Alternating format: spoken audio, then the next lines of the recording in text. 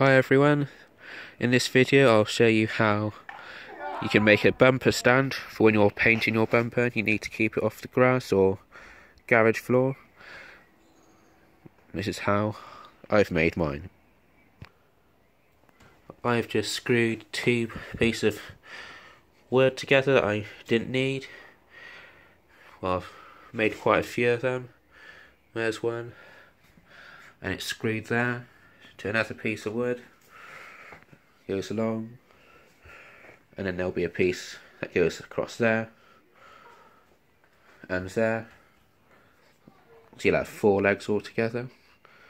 I'll screw this bit together and show you what I mean. Right, so here it is. It's built now. That's how I've put the pieces together.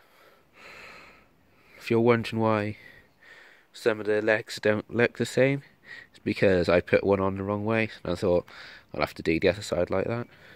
So let's try it with a bumper.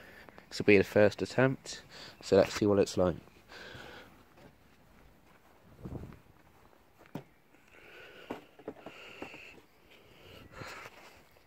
Well, that works alright. We'll be able to paint this nicely